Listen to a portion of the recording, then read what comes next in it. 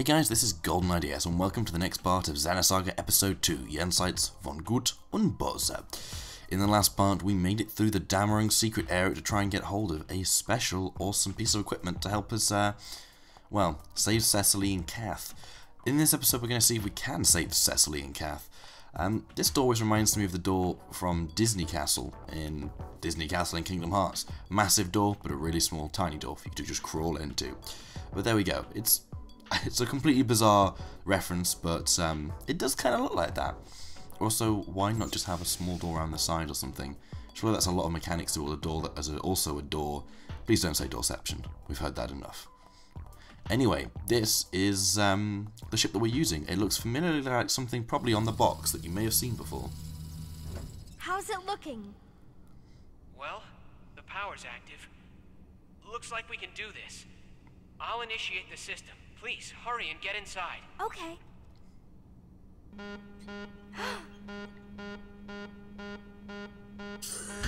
ah, but it looks like we're a little late. We're kind of surrounded. Yeah, I see them. Hang on tight, Chief. Wait! Allen!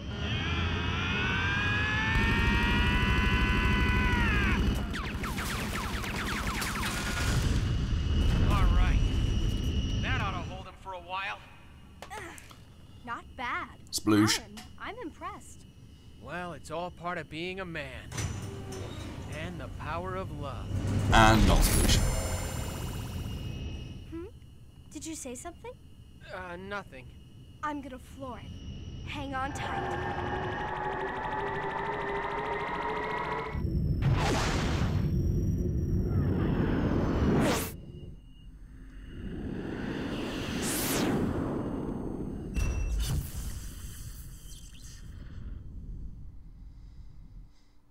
She did a good job flooring it, that's for certain.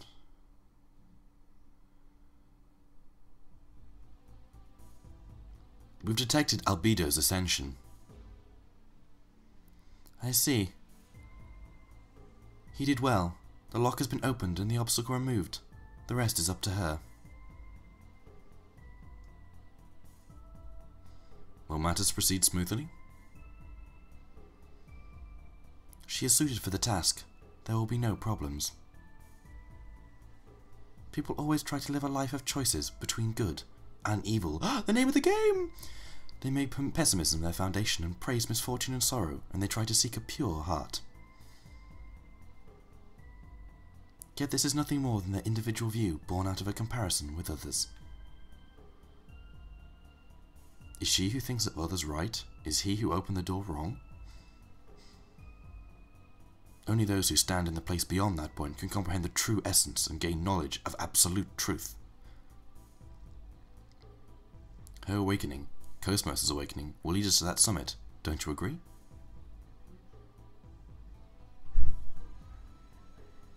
In any case, the, the intermission is over, and the players stand upon the stage. All that remains is to wait for the knight to appear, and of that, and for that, it is necessary that someone play the role of the villain. Will he suffice for that role? Do you object? The greater the suffering, the more exciting the drama. That gives you a little insight to Wilhelm there, which is kind of something he doesn't happen very often. 1.41 parsecs to Miltia. No ship signatures around. We're halfway there.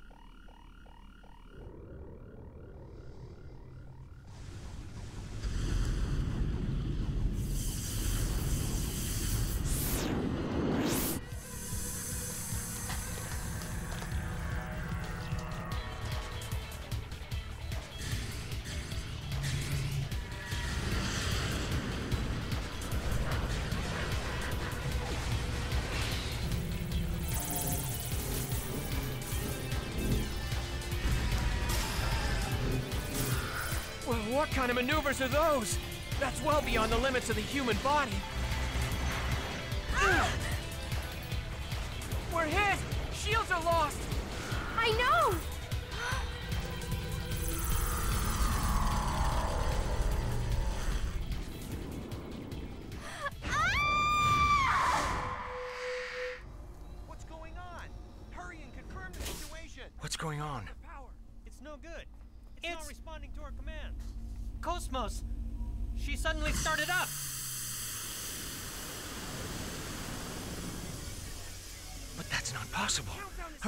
Isn't even installed.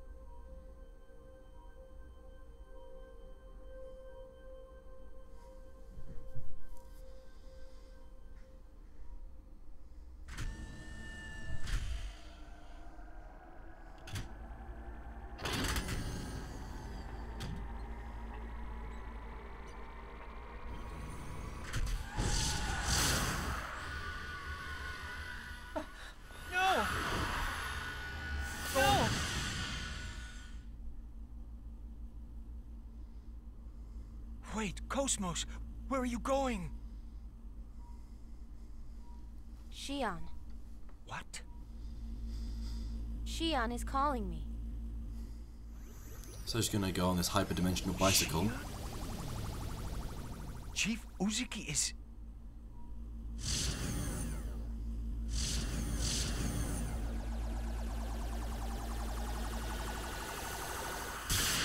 I must go, my people need me. Pretty much is what that is.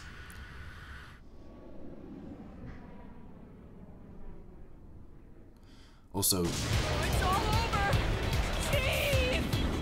I thought you were a man. Quit whining and shoot something!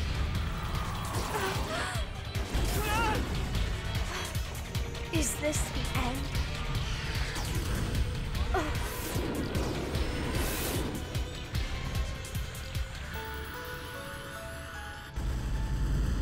Shion, I am switching your craft to control mode B.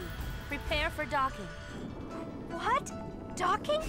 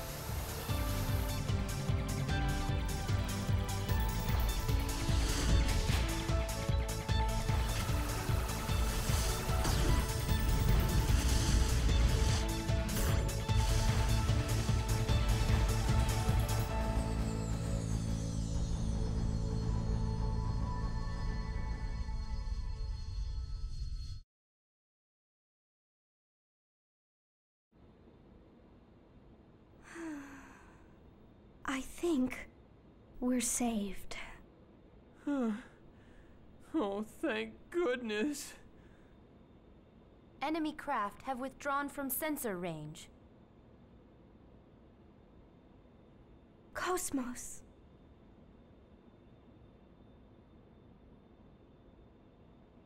Thank you. Chief, a transmission. A transmission? Yo, Miss Vector. That was quite a show you put on out there.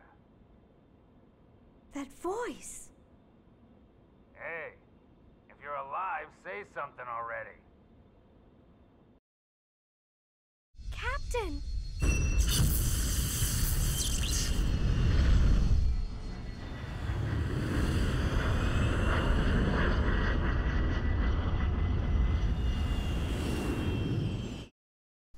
And that's that. So we, we were saved by KOS-MOS, thank goodness, who rode an interstellar bicycle across vast quantities of space and beat us pretty much to there. It makes sense in a way, I guess, because KOS-MOS does fly faster than anyone could, because she doesn't really have the same tolerances of g-force on her body that we would. But again, it kind of feels a bit Deus Ex Machina in a way, Deus Ex, I should say. But um, yeah, it's a nice feel-good cutscene, and everyone died, and it's KOS-MOS come back, and I do like the music. So the Elsa has been remodeled, and there's a lot of these robots which speak in capital letters at you, and this was one of the decisions I didn't like about the Elsa remodeling. Um, the robots aren't funny, they're not clever, they're not interesting, not enjoyable. They are in fact this. So this is another ES, the ES Zebulon. I always I always used to pronounce something different, but the Zebulon is the only one that can use M that you can use EP. I used said MP then. You can tell it's been a while since I've commentated Xenosaga.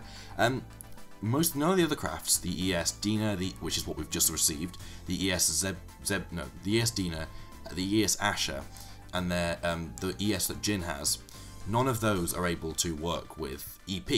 So you've got to basically have Momo have Momo in the ES Zebulon to make any any EP possible, which kind of mixes up battles and makes things a bit interesting, considering you know it's so can get difficult and healing is great and healing items for these for these guys for the massive ESs doesn't come along very often, so it's very difficult to get hold of.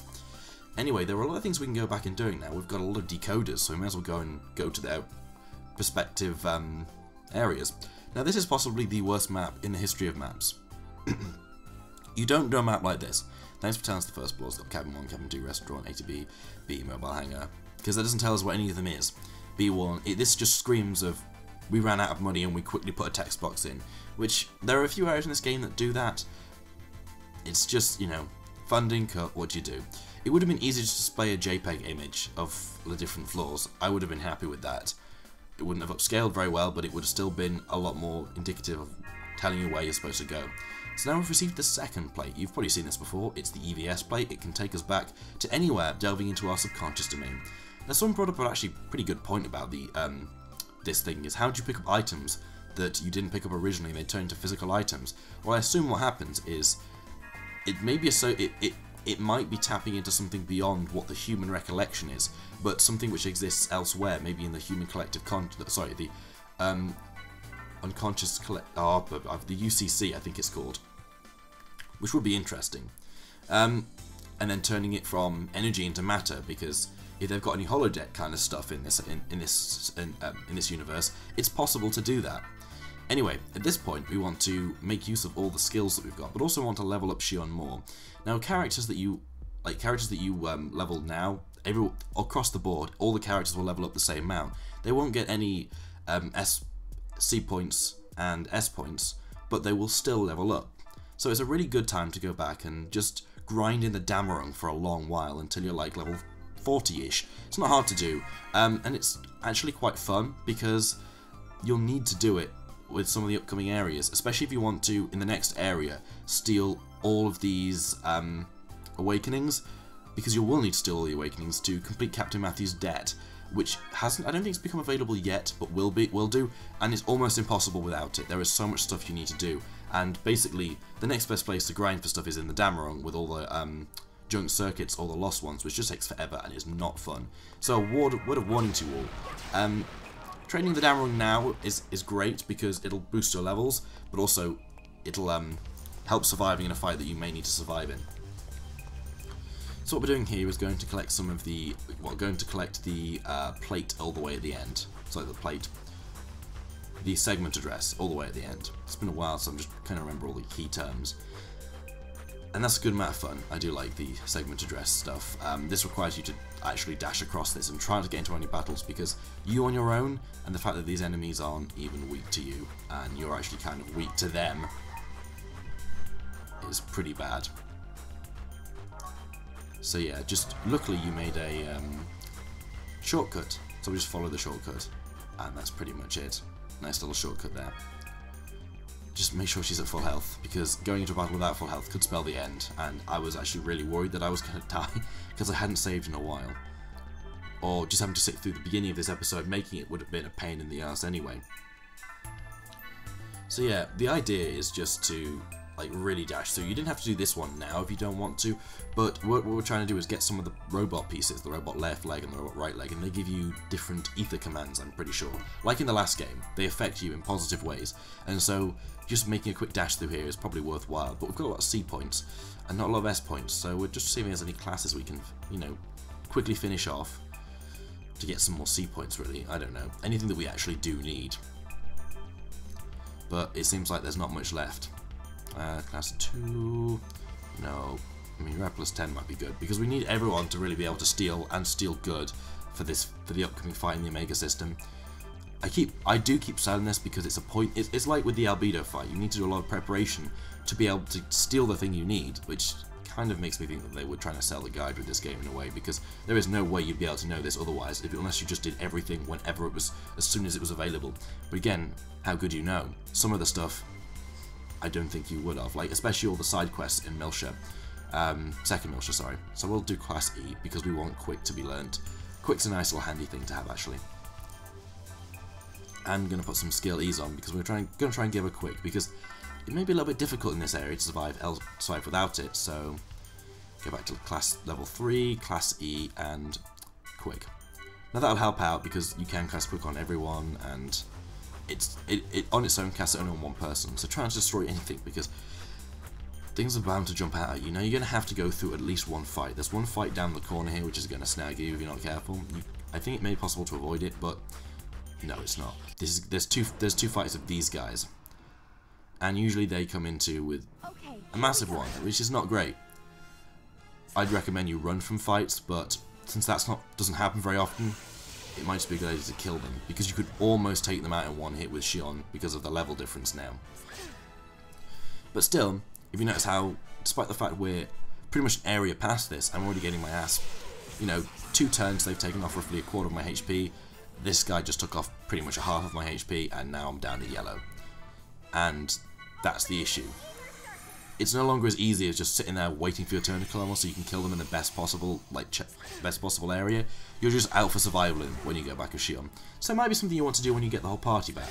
Um, and just grind with Shion now and then come back with this later on, which is perfectly acceptable.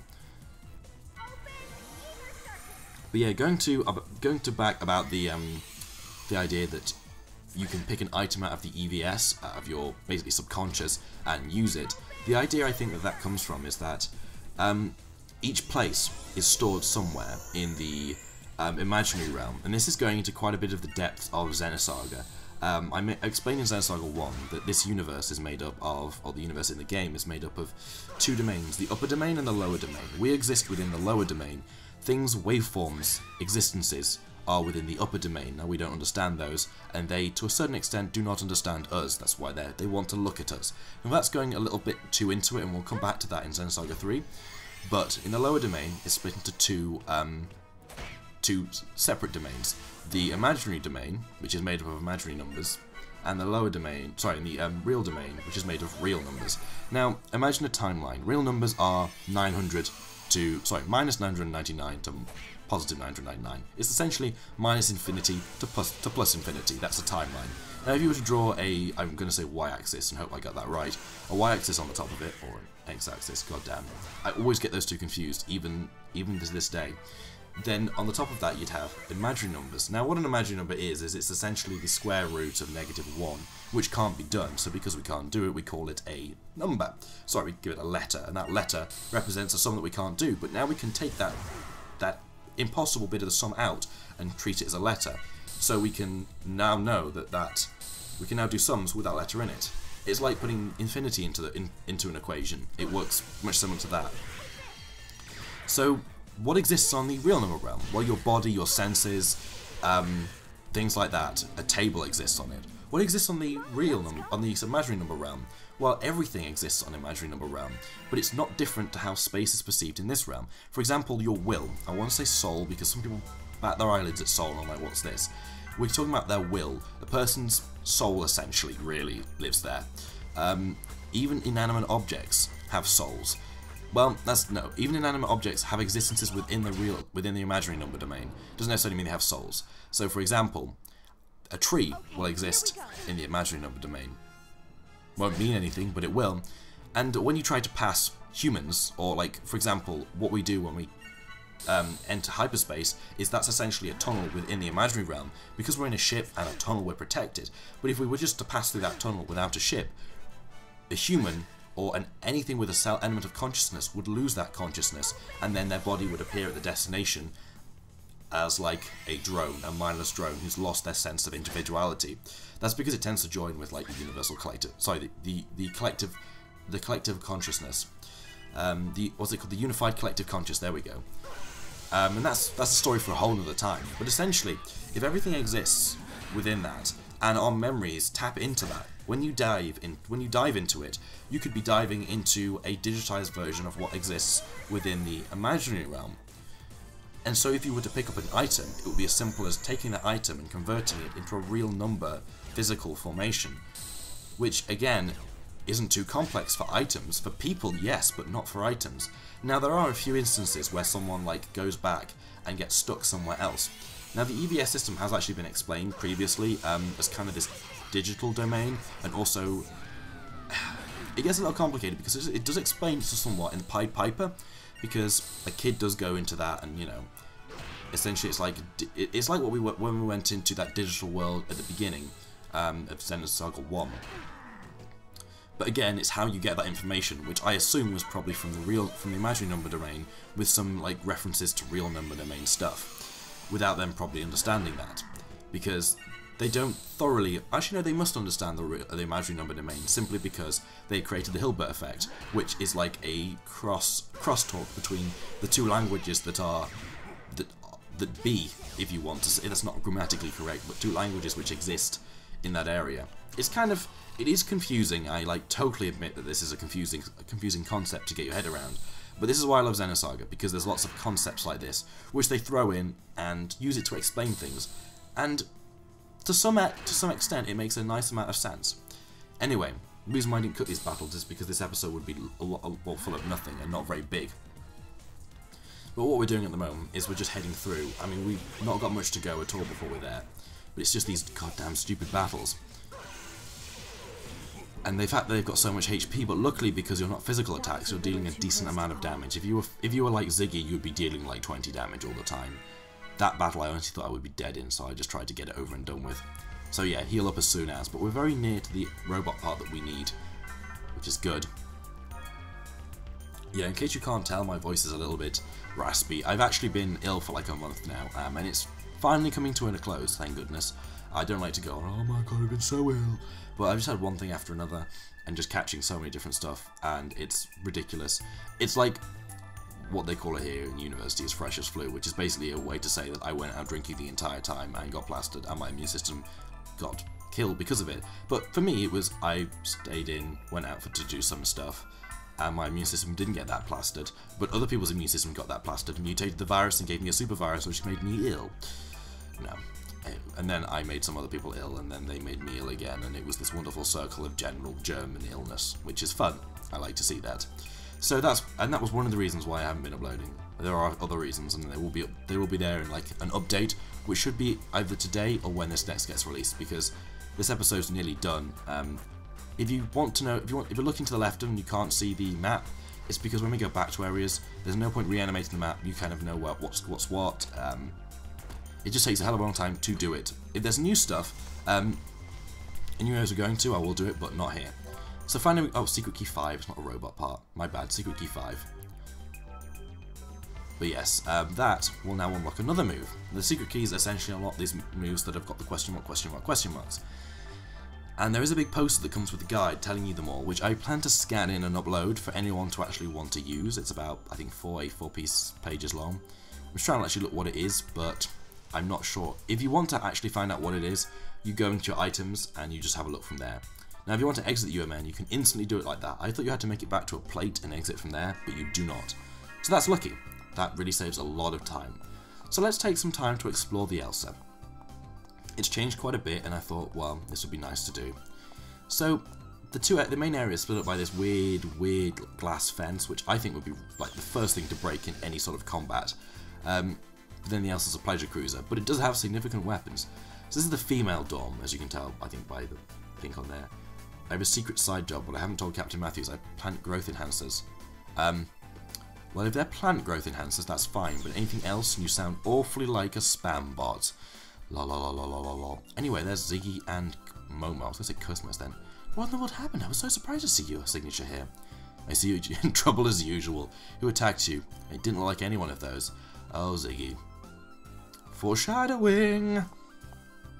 Come on, I've got to foreshadow at some point. There are times where I feel so, so bound tight to not say anything to spoil the story. I'm going to foreshadow that one moment and be done. So yeah, this is the boys' dorm, by the fact it's not a pinky colour. Gender roles still exist, apparently, in space. The mystery boy that's with you, does he have something against me? He's nice to everyone, right, but he's, like, mean to me. The mystery boy who's with you. Is he talking about... Is he talking about, like... Not Ziggy. Because it says boy. I'm tempted to say it's Junior, but... Like, who the shit cares about these robots? It's like the genuine people personality from Hitchhiker's Guide to the Galaxy. Sounds ghastly. It is. So yeah, this bit is basically a load of robots want to try and find the perfect hangover cure for Captain Matthews. If those of you don't remember, his cap says, Caution, I'm a boozer. And apparently, he's been beating, well no, he's been, been beating, I better finish that, people up. There we go. So yeah, this guy, when you talk to him, says, You better bring something good this time. Oh dear, better win there. And apparently that is weird because it's like the event has the event that you're in has already happened, or that guy literally just checks if correct thing found, do this, if not, display you better have something good for me next time. Which means that it even before it started, he's like there, it's almost a little bit of I guess bad programming with the events, but you know, whatever. And when he comes here, he drinks a lot. Really friendly. I'm not going to read this in a robot voice. I did originally when I recorded this episode, but goddamn I'm going to do it again. I know three droids that have needed major repairs after Captain has been done with them. I need to find it. Okay, so he has beat people up. Robots, but, you know, we're going to call them people because they seem to have some form of personality despite the fact I hate the way they look, I hate the way they sound, and yeah. Okay, so he has like a beer can going into the back of his head. Yeah, cool. Do not contain alcohol. So this is basically a riddle. There are three drinks that do not contain alcohol. You want to mix those three drinks together. And... There we go. And make a hangover remedy so the captain can stand. When you tell me to begin mixing into the three digits and the three digits from left to right indicate orange juice, tomato juice, and coffee. I found out that three digits are total of seven in order to make something the captain will drink, but I couldn't find anything else. You may ask my friends in the room. Perhaps they know something. I leave it up to you whether to trust them or not. When you're ready to make the remedy, come talk to me, by the way. I only have enough for five tries. If you fail, I would have enough for the next try, so Captain Matthew. So please do it.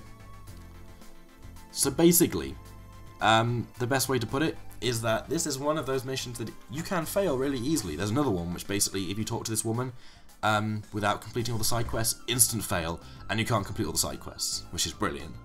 Um, so don't, I should, it's somewhere in second Miltia, so don't talk to him. So let's please talk to the Captain Matthews robot. So essentially we've got to just put three digits together that equal seven um, at the moment. So that would be a three, a three, and a four. Uh, there's a lot of combinations of that, so we need to kind of find out a bit more about this. Um, some more elements to this riddle. So let's start off then, shall we? Um, let's talk to one of these guys. My secret special should listen to the others first. Oh, great, really? We're, we're being this much of an asshole. Um, if you want to hear my secret, listen to the others first. Uh, I can't do that. Would you like to learn about them? Yes, I would, thank you. Despite his demeanour, the captain actually likes fruity drinks like orange juice. Okay, so maybe orange juice gets a certain preference. Should, yes, you should tell me. Yes. The captain likes tomato juice and coffee about the same. So I think from that we can already infer what we're supposed to do, really.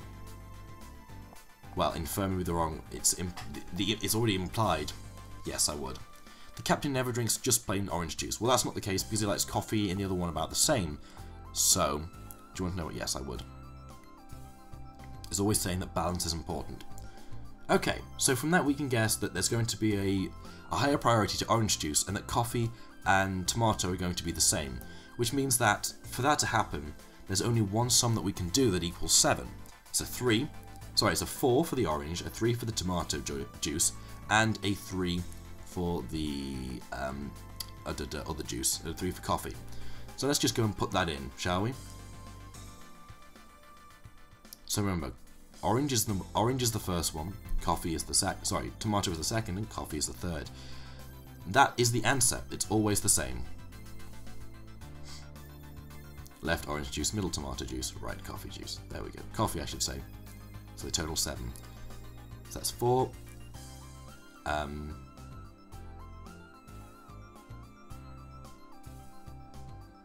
Huh.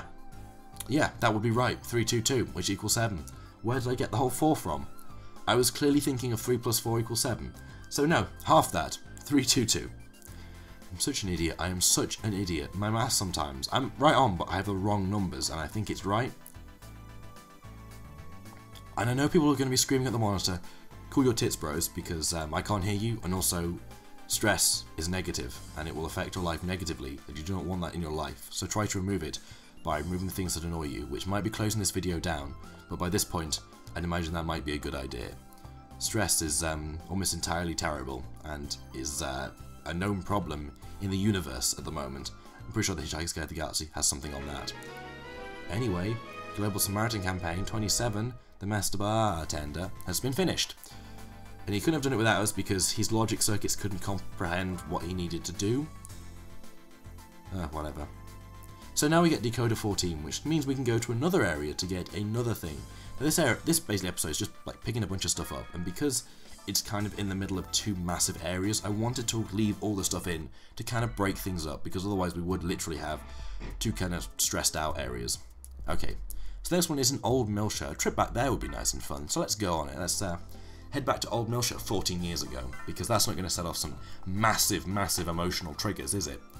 I'm actually kind of amazed that if you do take Shion back there, there is no emotion. She just doesn't trigger at all. I mean, for something that Shion's been through, I'd imagine there's a hell of a lot of things that would set her off. I mean, she seems to be, for someone who went through that level of trauma at such a young age, fairly together. Which is the interesting thing, a lot of people claim that that makes her a bad female protagonist because the issues which happened previously haven't affected her as much. Now, that's not the case because they have affected her in different ways. She is who she is because of those events, and the way that she acts is massively down to those, but you'd expect there to be some elements of something else, like some other mental disorders that might have come about through that.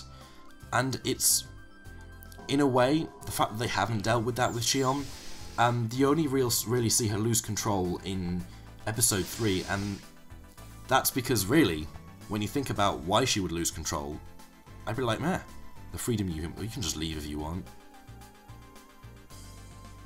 What crawled up your ass and died? Uh, well, you're doing a shit job. So yeah, I don't know. I don't know what are your opinions on that, because you, to a certain degree, from Xenosaga 1, we know what they've been through. We know what she's been through. Um, Xenosaga 3 makes it so much, make, like, actually shows us, really, what she's been through. And I'm kind of going to ask that question later on, like, do you think who she is today is a realistic, believable person of who she, uh, like, bearing in mind what happened to her then? Because she was a kid then, and stuff happens to you at that age. But also, I don't know, I'm just kind of... These ideas that I come out with in the episodes, maybe not fully formed, but there's something that opens up a discussion point between you and me, and that's something I really like doing. Because this game, they can be discussed about to such a great degree, and that's brilliant. Okay, so this is the this is the debt I finally got here. So we have to fill his debt now. Oh, great. Captain Matthews' debt. There's nothing like this. It's hand over any unnecessary items and accessories to K2. Say they say accessories. We don't really have accessories in this game. In fact, we only have items, which is another reference to the basically completely destroyed, um, what's it called, like weaponry there, it says closed. That's another that's another point towards the fact they did originally have a shop system where you could buy weaponry, but in the end just totally ruined, just totally took it out in the, in the, in the um, I think the thing of time. So basically, this guy is a massive pervert, despite the fact he's a robot. He can change the clothes on the old man, so he's now changing into a swimsuit, which... I appreciate swimsuit parties, but come on. Now the only way you can actually continue with that mission is when you head back to Second Miltia, and he's basically sat in the port at Second Miltia, and that's really all you can do. Otherwise, he just stands there and says, thank you for helping, despite the fact we haven't actually helped yet. So yeah, I don't really like this. I mean, don't get me wrong, the last Elsa would always confuse the willies out of me, but this one, not so much. In fact, it's I don't like it because of that. In a way, it just feels too small, too cramped. Which, there we go. So yeah, Captain Matthew's dead. The worst thing ever. It's about, I think, a million um, credits, but since you don't get money, everything you do, everything you own is basically has a price, and that price is only for this side quest. So, oh god, really? No, no, not him. He's in, he's in roller skates. Oh god's sake.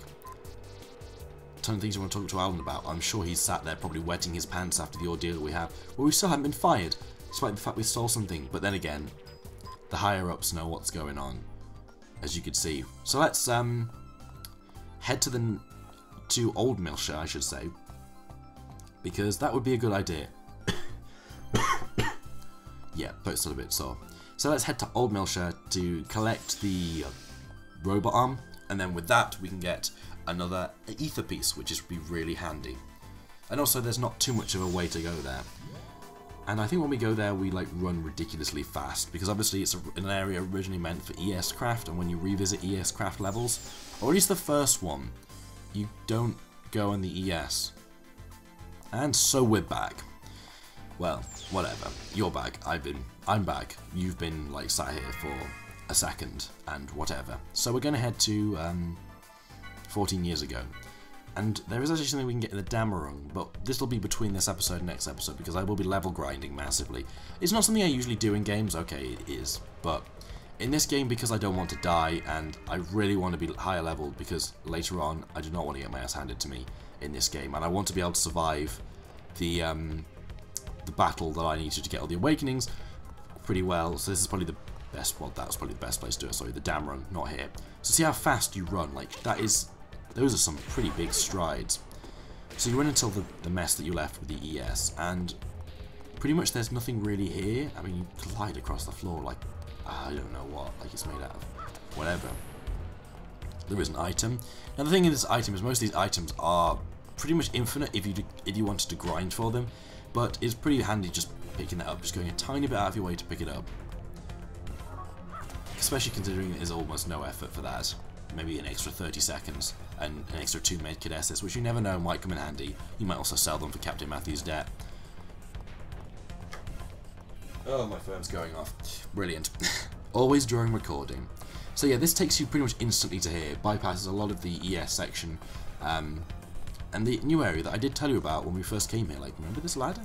Pretty much, this is exactly what this bit's for. It's so it's basically, in, the game knows you're coming back and they've planned that into the area, which is really nice, and again, it's a sign that the developers actually cared and put an extra bit of effort in, because they could have just made you run around like nothing else, but, you know, like the area was originally. But no, they've done this.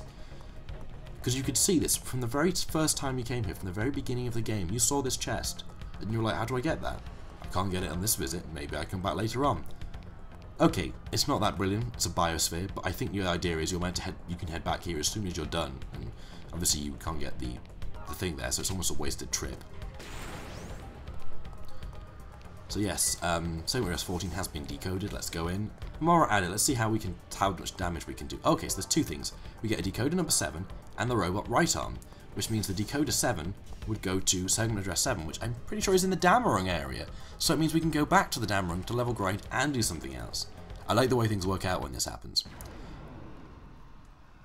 So, next up, we're just going to see how easy these guys are. Wow, zero damage, and that was with his guarding though. So let's see what happens when we don't guard. Backshot, naught.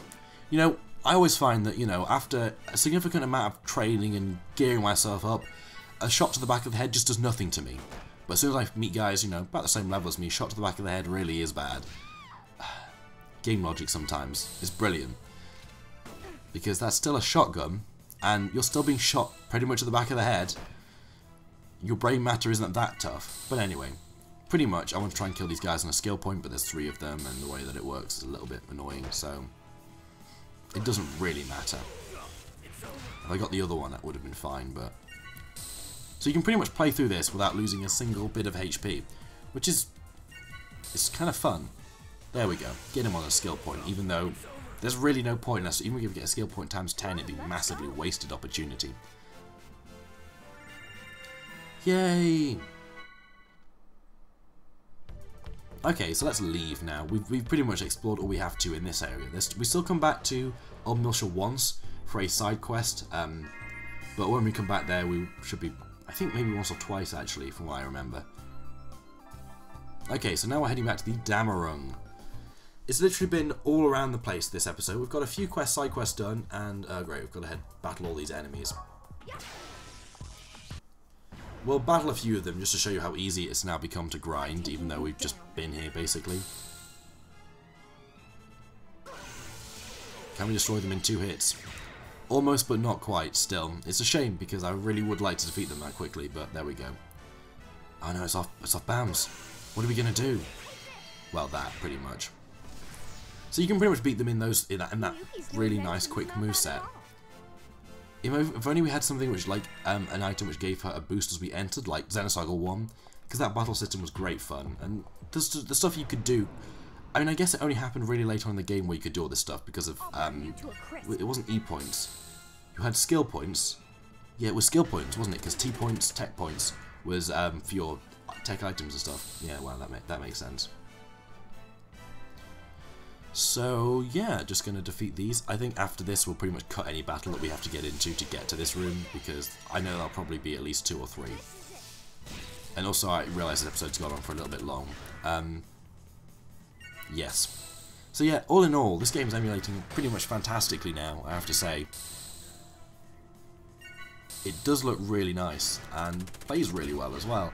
Um, the only thing which isn't is on the a lot of the 2D images. There's a little bit of um, a little bit of gunk around the edges of some things, like for example the little arrow you see, there's a little bit of gunk there, but all in all I seem to remove most of the issues. So predictable. No problem. And this is the first episode that'll be rendered at 1080, and this is because um, YouTube doesn't like degrade my episode to, like arse in the end, and I just want to kind of get them up. And because of the way things are going, it might be easier to just 1080p them all, and therefore, you know, things look good. So we can't really sneak past him, so I'll meet you when we get there. I'll burn you to a Oh. crisp. And here we go. That's the uh, final battle defeated. Hopefully we can just get in there, get the robot arm, and get out. Um, and this is great because we hopefully get something else in here that's maybe another decoder. So just slip round here and head into that door there. It's pretty much remember when we all should remember where it was. It was in that elevator area. Well, actually, no, we probably shouldn't because it's been a hell of a. it's not here. It's in the other room. I know it is in here. There's two of them. There's yeah, there's two in here, isn't there? There's one at the back that I think we actually went into, and there's one in here that we haven't been into. Yeah, my bad. So yes, none of us remember because it's been such a long time. I fully accept that's probably the case. I think it's in C, C or D, one of the two. Nope, definitely not in C. Is it in D? Nope, it's not in D. Um, no. Oh, great. It might be in E. It was definitely on this side. Okay, well it wasn't in E, maybe it was in, um, B. It probably was in B. Nope, it's probably in A then. Well, that was just a mind bending. I could have gone there already, but ah well. So yeah, in here is just the robot but left part. If we head back, and we'll find out more about that in the next part. Right now, though, we're just going to grind in the Dammerung, and I'll meet you once I've finished grinding. Take care, everyone. Bye-bye.